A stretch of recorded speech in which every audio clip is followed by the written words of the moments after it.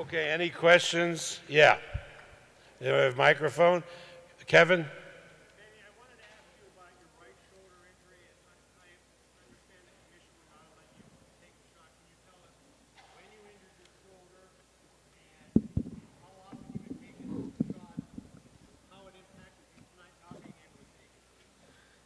You know, uh, this training training camp where we uh, I thought um,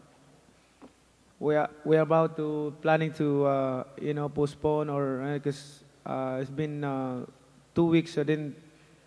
you know train good because of uh, of I didn't use my, my right hand. I cannot use my right hand and and we uh, we plan we, we plan to uh, file in in, in commission uh, um, uh, exemption for for the shot for numbing the my my, my shoulder but I, we respect the decision of the the commission that uh, is not allowed so we didn't we didn't get a shot but you know uh, two weeks before the fight and uh, one week before the fight it's it's my my my shoulder is getting better and better and, but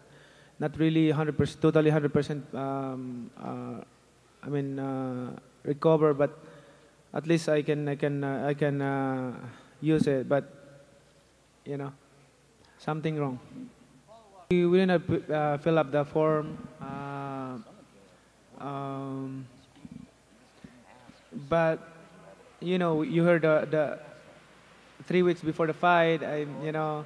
I skipped my training a uh, couple days because of that uh, reason and